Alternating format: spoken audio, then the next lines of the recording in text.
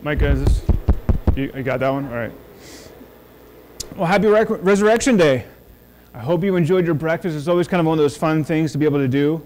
And uh, every year I'm reminded when I get up here to finally get to this point of how hard it is to preach to you on a full stomach. And also, and maybe the more difficult, how hard it is to listen on a full stomach. So I'll try to do my best here, and I, I ask you to do the same. But you know, we, we refer to this day, what most refer to as Easter, and we realize the specialness of this day. And in the years past, we have given some kind of a defense of the, of, uh, of the resurrection of Jesus Christ, like that actually did happen. And that's something that uh, has been going on for a very long time. In fact, the passage that we'll be looking at here in 1 Corinthians 15, if you want to turn there, actually, Paul spends the entirety of the chapter giving a bit of a defense and really a hope for the, re- uh, for the resurrection. And for good reason. Because honestly, the, in, in normal circumstances, and even beyond normal circumstances, the dead do not rise. There's a reason why the disciples were not standing beside the tomb waiting for Jesus to come out. They weren't looking for it. They didn't anticipate it. They didn't expect it. The dead do not rise. It was truly something out of the ordinary, extraordinary, when this actually did happen. But we've made a defense of that in the past, and if you want to hear something like that, you can go online you can find the past sermons on that very topic. But I didn't want to do that this morning. I wanted to look at it from a different perspective. I wanted to do like what difference does it make for us in the day to day, in and out of life? In other words, what hope do we gain by knowing and understanding and appreciating the resurrection? How does it get us out of bed in the morning? And there's an aspect of which, when we think about this, of course, we're looking at, well, it's a future hope. Well, that's true. It's a future reality. It's something we're looking forward to in the future when there's that resurrection that we get to participate. But what about now? I mean, is the resurrection simply only something that we look forward to, like is out there someday I'll have that, but in the meantime, here I am, I'm stuck? Is there something more significant to that? Does it change the way that I view, the, view life or do life?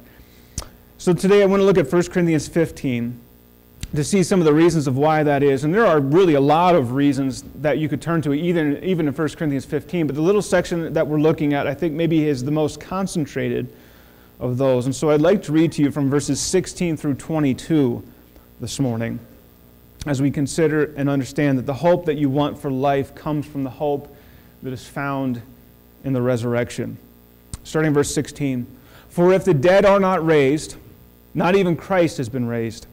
And if Christ has not been raised, your faith is futile, and you are still in your sins. Then those also who have fallen asleep in Christ have perished. If in Christ we have hope, in this life only, we are of all people most to be pitied. But in fact, Christ has been raised from the dead, the firstfruits of those who have fallen asleep. For as by a man came death, by a man has come also the resurrection of the dead. For as in Adam all die, so also in Christ shall all be made alive. First and foremost, we want to look at the hope of profitability.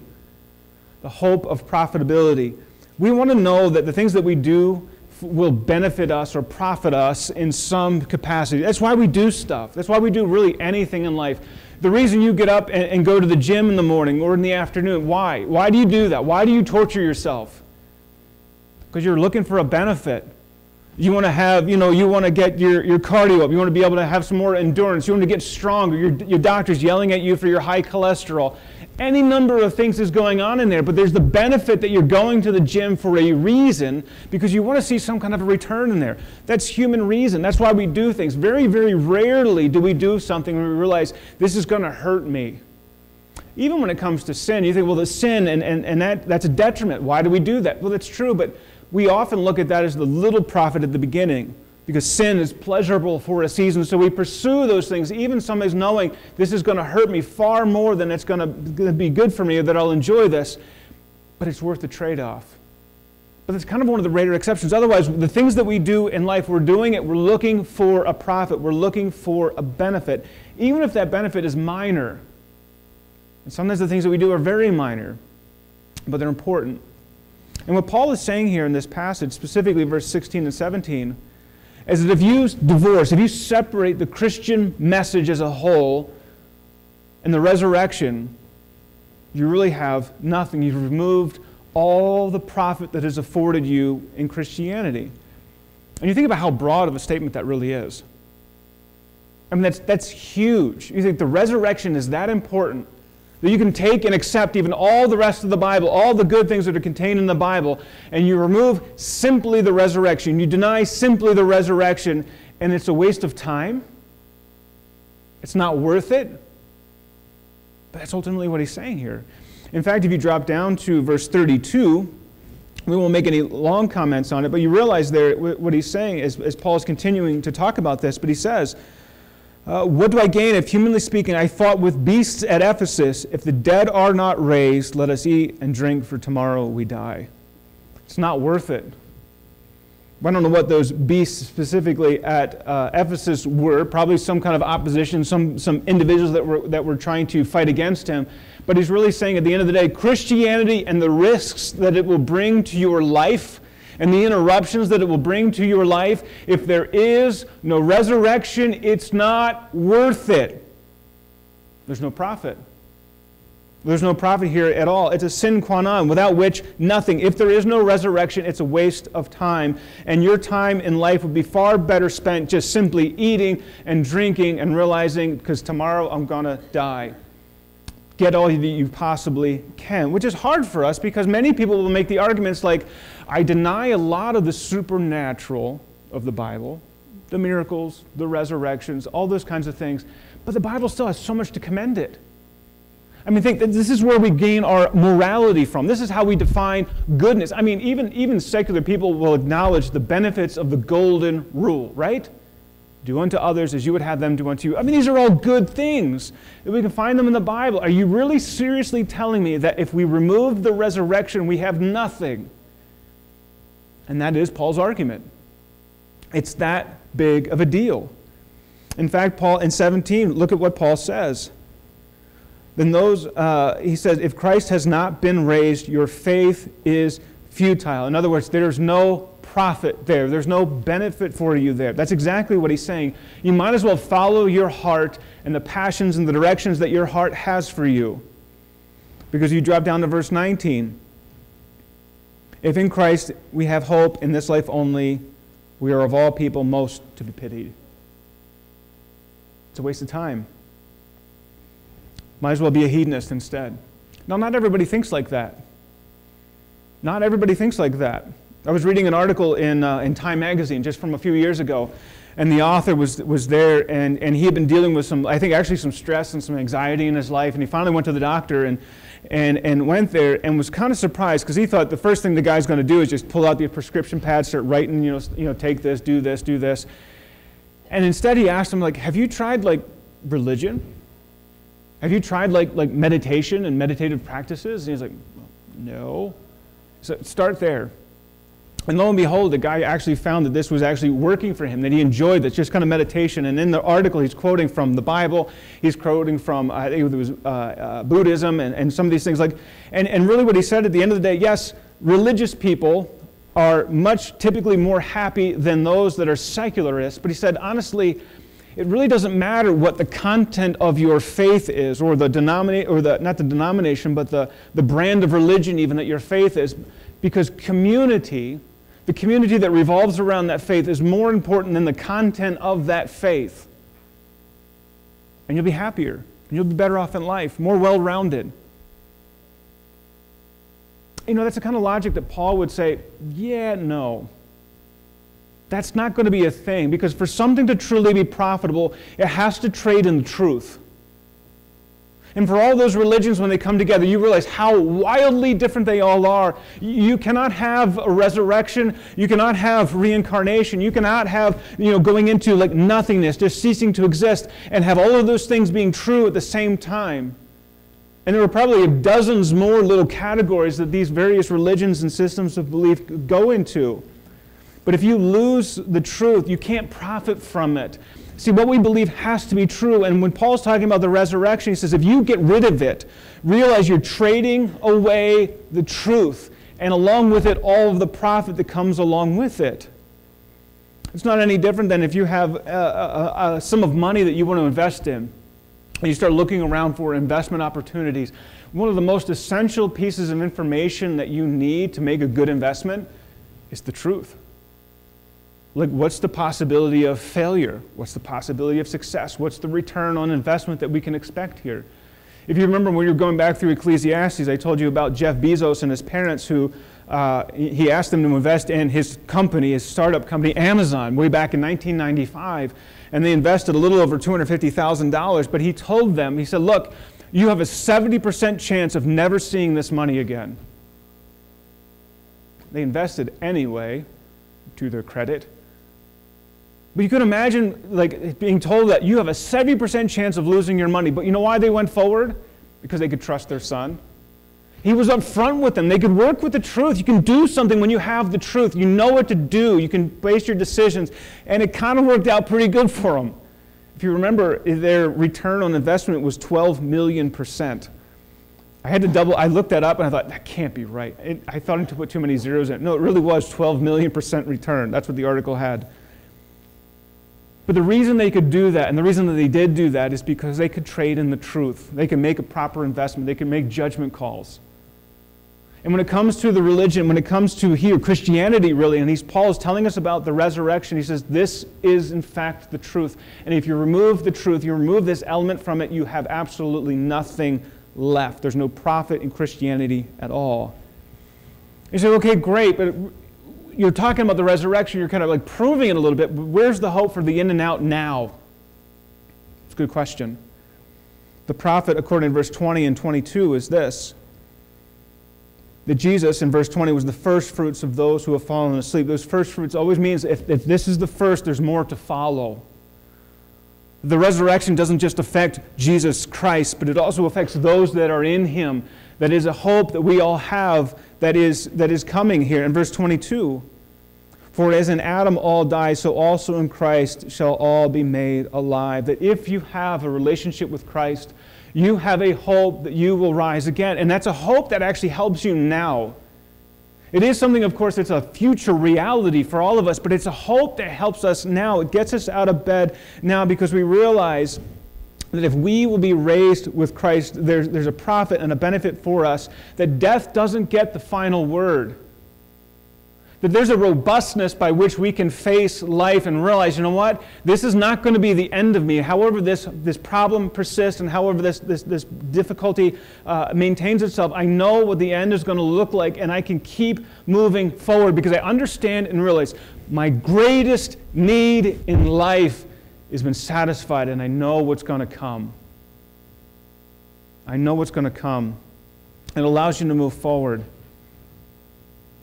It also helps you realize that when you fail in life, you're not removing yourself from that hope. And we've all faced failure. We've all had things that maybe didn't turn out the way that we wanted to, and we realize it's not all lost. I'm still safe in the arms and the hands of God, and my eternal destiny is not in danger. Because all those who are in Christ we have that full and final hope of where we will be. It's guaranteed. The sting of death is finally and fully removed for us. And see, that's a confidence. You can wake up in the morning, regardless of what else is going on in your day, and realize, you know what? I have a hope of an eternal destiny with God. And there should be a robustness to your life and a robustness to your faith because of it. And you can look at death, and regardless of things that maybe threaten you and threaten your life, and realize that will not be the end of me. Now, sometimes people are like, what happens if I'm afraid to die? Well, keep in mind, I mean, the, the, the death is part of the curse. It's not really something you're supposed to look forward to. We kind of defeat the purpose of a curse. But it also means that we, we come at this that, that uh, yes, it may not be great, it may not be what you want, but it, it is not the end. You don't have to look and like, I can't wait. Right? I think that's what we kind of sometimes sell ourselves on, or think, and people like, I, I feel like if I'm not sitting out there going, I can't wait until I die, then there's something wrong with me. No, there's something wrong with you if that's the way you think. You're not supposed to look forward to that, but you don't have to fear it. See, there's a difference there. And that's okay. So, following the Christian path here Paul is saying, while denying the resurrection of Jesus, which was almost certainly what was going on, at least with some of the Corinthians, he's saying you're, you're wasting your time. You, you, you've taken out the very thing that makes Christianity profitable, and beneficial to you. And any hardship or difficulty that you face, like the beasts of Ephesus from verse 32 we already looked at, it's simply not worth it. You might as well take the easy path and get what you can now because you don't know what tomorrow's going to bring. We've taken all the profit out. I said, don't do that. So, profit is one key thing to finding hope in the resurrection, but it's not the only thing. Another one is just the reality of being forgiven. If you ever carried a burden in life, you know how powerful guilt really can be and how much forgiveness and the need for forgiveness can really do for someone. So here we find here in, in 17c, the latter part of that, you're still in your sins. If Christ has not been raised, you're still in your sins. But if you are in Christ, you realize that you're forgiven. Paul almost always mentions the death of Christ and the resurrection of Christ together in tandem. Almost always locks them together. We don't normally do, at least I don't find myself doing that all the time. We talk about, you know, the, the death of Christ on the cross, the blood of Christ, you know, has saved us from our sins, or we quote from uh, like Hebrews, without the shedding of blood, there is no remission of sins. And I, and I think we're doing something inadvertently that we ought not to. We're separating the death and the resurrection of Christ, unintentionally. But I think we separate that. I mean, even the symbolism that we have all over the place that we think of when Christianity, it's, it's the way that Christ died, it's his execution. But what about the resurrection? Paul always puts those together, or almost always puts those together. And I'm not saying we need like a, a picture of an empty tomb up here somewhere. We have to remember the cross is empty for a reason. It's there in front of us. We just have to make sure that we emphasize that from time to time and remember that, that Christ rose again from the dead. But if we only talk about the death of Christ or the shedding of his blood, we're only looking at half the picture. We need the whole thing. It's not any different than if you were to try to pay for something like a one sided bill. You know, you pull out a 20 and they, they printed the front, and it's got all the markings on it that it should have. So we're not talking counterfeit right? But you look at that, you see you know, the, the colors are right, the labels are right, the watermarks are right. You know, they hold it up to the light and it's got that little strip in there that you can see and it tells you what denomination. Like everything's perfect. You take out that little funny pen they always write them on, everything works.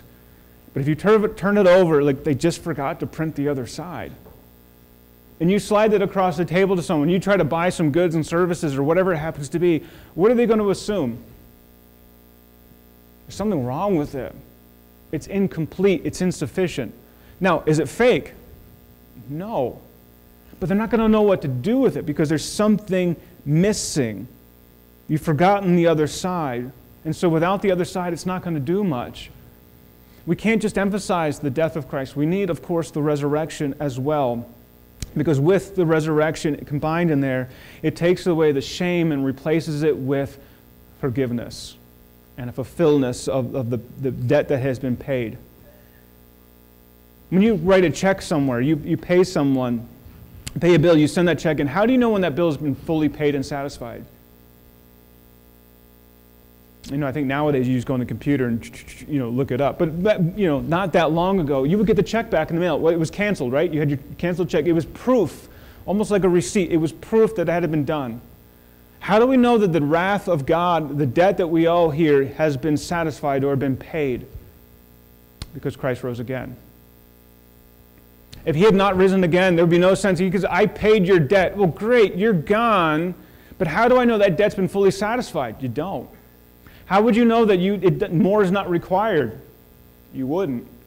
But the fact that Jesus comes back and begins walking around, it's like having that receipt paid in full. It's like having that canceled check in your hand paid in full. It's been satisfied. The debt that you owed has been satisfied because of Christ. And seeing Christ walking around and doing those things reminds us, tells us, communicates to us that that debt is done. It's over. And so the fear that maybe Christ's sacrifice was insufficient is done away with, which again, it makes it, you, when you realize that, when you understand the resurrection, what it does, then, then why do people try so hard to do more works and do more things to put on their account? They try to earn, for their, earn something for their salvation. It doesn't make any sense. The resurrection of Christ tells us the debt has been paid, it's been satisfied that you are, in fact, forgiven. And that brings a sense of freedom, or it should for you. That your guilt, that your shame, that your sins, the things that even that you're still doing today or now or will do, they're, they're truly gone. Maybe you don't appreciate what it means to carry guilt throughout life, but some of you do. Some of you have maybe a secret. Some of you have things going on in your lives like, I hope nobody knows this about me. Because there's a sense of shame and there's a sense of guilt that comes along with that. But you do realize that in Christ, there's, there's a freedom that comes there too. You've been freed from that. That's exactly what Jesus did. He came, He paid for those sins, taking your guilt and your shame with Him. That burden is removed. Jesus removes that burden.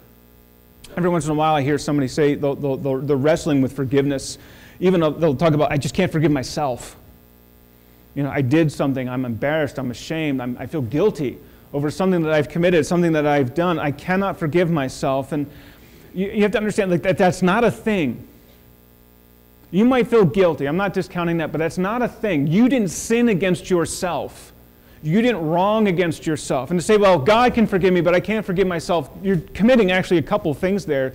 One, you're saying that your standards are suddenly now higher than God's don't think you want to go there, but you're also saying that the, that the sacrifice of Christ was insufficient for something.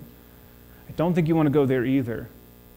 When Christ died, he took that away from you. You simply need to accept what it is that Jesus has done for you. And that guilt and that shame, you're suddenly aware of what you were capable of. You might be embarrassed and you might be ashamed. You realize, like, I, I can't believe I did that. That's probably a fair assessment. But that's, that's human depravity. That's what we are all capable of at any one moment. We can do those kinds of things. And you might be surprised that you can do that. But don't go down at that martyr's complex of, like, I just can't forgive myself because this happened or I did this. In Christ, forgiven, paid in full, it's done. And you can rest in that. It doesn't mean there aren't still consequences, there, there can be probably going to be.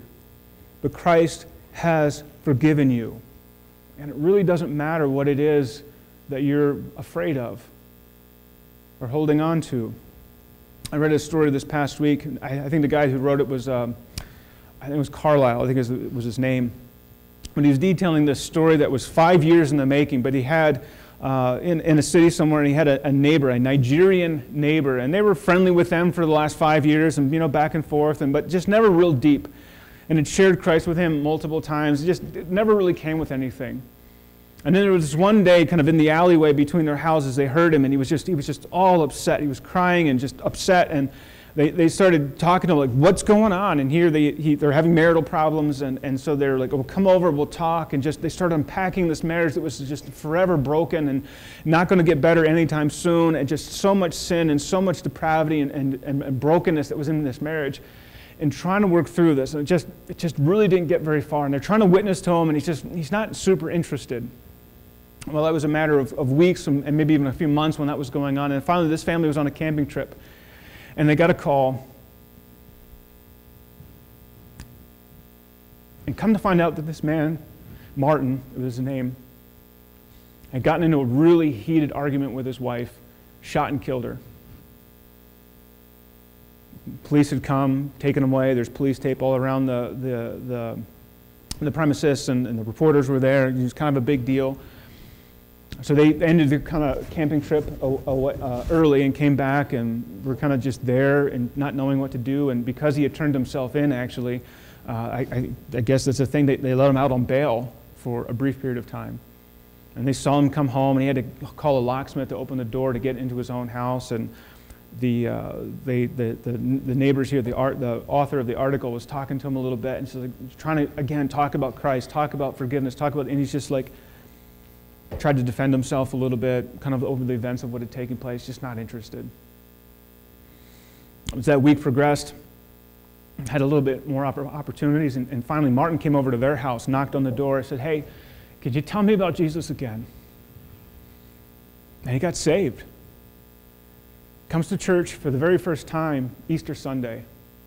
Comes in, it was the, it was, he had always, his uniform, so to speak, had always been just a pair of baggy jeans, these rubber sandals and a t-shirt. That's what he'd always worn. But that Sunday, he had a pair of khakis on, a blue shirt, a tie, looked nice, came to church, enjoyed the service. It was his first time in church. It was the last time he was in church because later that week he was convicted, sentenced to life in prison, never darken the door of a church again. Broke the heart of the man writing this article. But there was a sense of joy and relief on Martin because he knew that he was forgiven. It doesn't take away the consequences of his actions, the sadness or the sinfulness of his actions. But we realize that even a man like that can be and was, in fact, forgiven. It's grace. Because he didn't deserve it. Neither do you. It's grace. The author of that article found out later that he passed away in prison. He looks forward to the day when he sees him again in glory. Because there's a hope in resurrection, and that Martin will be there because he's been forgiven. We have a satisfaction, not a, not a satisfaction. We do have a satisfaction, but we have a profitability in God and the resurrection, the forgiveness, and the hope that that brings. And you put those two things together, and it sounds a lot like you've been accepted by God, and indeed you have in Christ. And that's where we go next hope of acceptance. Honestly, one of the greatest blessings in the Christian, that a Christian can know is that God accepts them, you, now. Let's look at verse 17 again. I know we've read it several times, but we're going to like, it's written in the negative. We want to turn it around and see what it says. So look at verse 17 and, and understand what I'm doing here.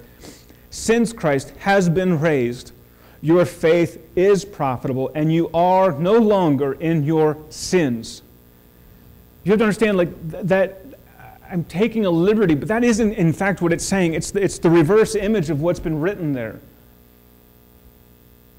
It's true now. You don't have to cling to a hope that they will be, your sins will someday be gone.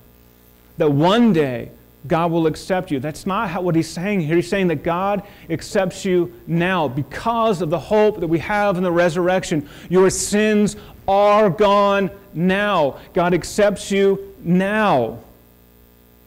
I don't think you understand how radical that idea really is when it comes to religious beliefs that people have and hold on to. Follow these rules and then we'll talk. Do all these kinds of things and then maybe, just maybe, you'll be acceptable to me. So I wanted to look at a similar relationship, one that we can relate to, to see how terrible this really is. I was talking to Bailey and Ann, and they were given their uh, engagement story. And what you probably don't know, it's a bit of a secret, is that when Bailey uh, asked Ann to marry him, he not only gave her an engagement ring, he gave her a cookbook. It's true. Gave her a cookbook. See, Bailey has a favorite dessert cosmic brownies. And that recipe for that, uh, that dish, that dessert of his, is found on page 121. And he handed it to her and he said, Look, hon, I'll give you this. And if you can make this for me and make me happy and follow the rules and the commands of how to do this, after maybe 50 years or so, maybe I'll consider accepting you or taking you as my wife. Because you see, you turn to page 121 and it simply says that there's the rules and the commandments of the cookbook. Thou shalt take three cups of all purpose flour.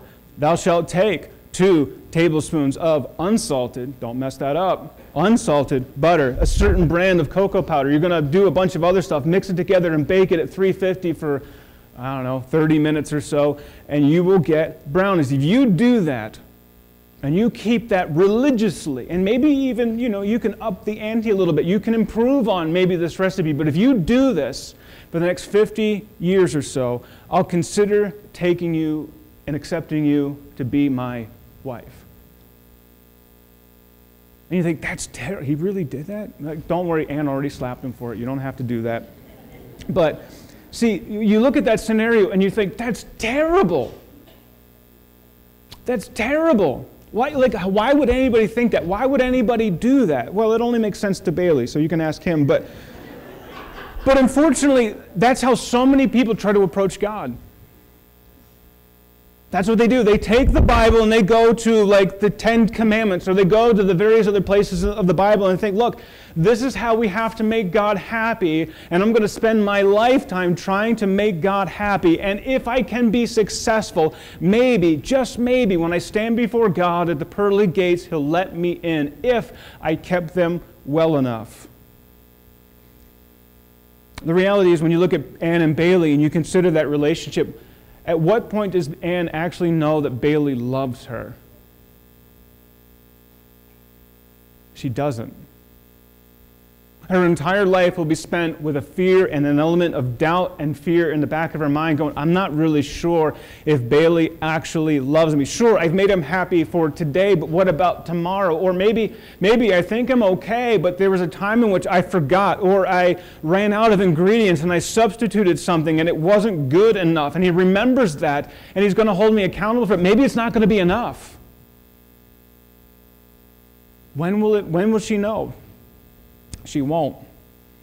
She'll never be confident that He actually loves her. And for so many people, they're never confident that God actually loves them, that God actually accepts them. But that's not what the Bible's saying here.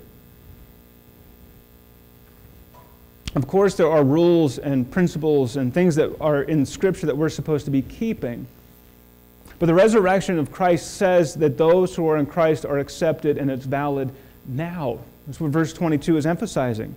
In Christ shall all be made alive. In Christ we are made alive. That's true now. And that's something that we can bank on and that we can enjoy. That's guaranteed to be taking place. We're accepted now because we're in Christ, because our, our sins are forgiven because of the resurrection of Christ. I think it's worth noting here. We talked about in Christ all live, but in Adam all die. And sometimes the, the, the, question becomes like, is that really fair? Like I inherited this sinful nature from my parents, and, and so maybe it's their fault, in part because nobody in our day and age wants to take responsibility for anything. But the reality is, if you make that and level that against your parents, my parents sent this down to me or gave this down to me, I inherited it from them. That's true, but they can keep doing it. Eventually, we, we want to back at Adam anyway. Is that really fair? Well, we have to keep in mind that really everything in life that we do affects other people. It's just how it works. Most of the time we don't think about it, or most of the time we just don't, it, it's okay. We, we, we accept it, we expect it. But, but there are so many things that we do that, that, that come to us that, that, that affect other people in various ways. It reminds me a little bit of the story with. Um, the, the two teens in, in uh, Washington, D.C., they, carjacked that Uber driver. I think it was uh, Uber or, a food delivery driver. He was like a 60 year old man. Two teens, like 13 and 15. They, they tried to carjack him. Didn't work out so well. The, uh, he got pinched between the, the, the door and the car when they hit a lamppost and the car flipped over and he died on the scene and they got out. I think it's terrible. It's true. And it's not fair because they did all this and he's the one that suffers. He's the one that dies. It's not fair, but it's what happened. See, their actions affected other people. Your actions affect other people all the time. And we often just don't think anything of it, but that's the way life works. It's also not fair when you consider that you inherit an inheritance, an actual inheritance, you know, the, the, the, maybe the sum or money from a loved one, a parent or, or a, a, sibling or some other thing. You get that kind of inheritance. It's not really fair. You, according to Ecclesiastes, you didn't earn that. You didn't work for that. And it makes us remember, of course, well, where else would it go? It makes more sense to come to you than to maybe just be spread out or do anything else with. And that's true, but you didn't work for it, and that's the principle. And you're, you're the one that finds yourself with it. Genetics also are inherited, sometimes for better, sometimes for worse. But you didn't do anything to get those. Salvation, we are reminded again, isn't fair because it's someone else's righteousness that's put on your account. You didn't earn that. You don't deserve it. And yet it's given to you. When you think about it, you start realizing how silly it really is when we try to put works into this equation, the things that we do, the things that we strive for, when we realize it's what God has done for us. And the hope that we have in the resurrection means that all these things are settled for us. In Adam, all die, but in Christ we are all made alive. It's not fair, but it's what is. And it is truly a good gift. You know, back in 2020 when we started, I told you as we got there the first uh, Sunday in January, I said, hey, this is 2020. It's the year of the ophthalmo- ophthalmologist or optometrist. Most of you kind of sat like that, what? Like 2020, you know, like vision, you know, it took a while. And, you know, the reality was we were hoping that 2020 would be the year we could really see clearly. We kind of did, and we didn't like what we saw. We saw very much how easily and quickly we could become divided, how corrupt things really are, how vulnerable and unpredictable things really can be. In many ways, it seems to continue. We need hope. We need hope in a hopeless world. We need hope when we get out of bed in the morning to seize another day. We need something that we can cling to. And honestly, the resurrection becomes that thing that we can latch on to and say, you know what? I don't know how everything's going to turn out in the grand scheme of things, like with, with this day, this job, this opportunity. I don't know that. But in Christ, we have a hope that we can count on, that we know eternity is settled. I don't have to fear death today, regardless of even if it comes to find me and I'm not expecting it. I don't fear that. I know that I have been forgiven and that I can go through life without the guilt and the shame that maybe my, my mind wants to put on me. I know that's been taken care of and it's gone and it's removed and I can seize and do this day. I know that as I go about today that I can go about this day knowing that I am accepted and by God now. That my eternal security is secure in this and the resurrection of Jesus Christ guarantees all of those things for me. And that's something that it will never change that is truly a, a profit and a blessing and a benefit to us now. And I hope that's something that will make you hopeful each and every day. Now, what won't give you hope is if you're not in Christ now. You can be, but you realize that's, that's, that's that transition, that's that decision that each and every one of us has to make, and nobody else can make that for you. But it's that time in which you consider the things of God, the, the truths that are found in His Word, and either accept or reject the sacrifice of Christ that He made for you. That's your choice. All of us are sinners. The Bible talks about all of us falling short of the glory of God. There's no one that's coming to the table and says, hey, you know what? I know everybody else has missed it and not made it, but I'm the, the exception. That's not a thing. It's really not a thing. And, and, and to, to, to, take that is really to, to really misunderstand the Bible and it's to misunderstand yourself. I'm not saying that you're as evil or wicked or sinful as possible. No, most people aren't that. A lot of people are very nice people, very moral people, very what you might call good people. You'd love to have them as your neighbor, as your friends, people that you work with. We'd love to be able to do that. There are a lot of people in those categories. But it doesn't take away the fact that you are still in your sins. If you're outside of Christ, you're still in your sins. Those things have not been forgiven, and you're trying to do life apart from God. And it's not something that's going to be ever acceptable. See, Christ has made a way for you, and He simply says, Come and accept what I have done for you. Follow me. Call on the name of the Lord, and thou shalt be saved. And if that's something you still have yet to do, man, I would encourage you make today, make Easter Sunday the day where you say, I want to settle this, I want to make this right. I want to start today to have this relationship that I can enjoy the hope that I have in the resurrection and in Christ. That I can look forward to this and realize and have the profitability of the resurrection, the assurance of the resurrection, and the forgiveness the resurrection has wrought for me. Let's pray. Dear Father, we thank you for this opportunity on this Resurrection Sunday and the implications that we find going on here in Paul based on that truth. Lord, we thank you. We realize how unworthy of this we really, really are. And yet, Lord, you freely gave of your Son to make a way for us. Lord, I pray that you would help us never to get over that, and we might be fully enamored by that, that they would season the conversations that we have around the table today, both at lunch and dinner, that we would never let that conversation, those thoughts leave us, Lord, I pray that it would give us hope. A hope that we are just forever lacking in the last several years, it seems like. So many things have gone on, and yet, Lord, there's one unchanging truth and element in all of this. The resurrection of your Son happened. And because of that, we have hope. A hope that cannot be and will not be taken away from us.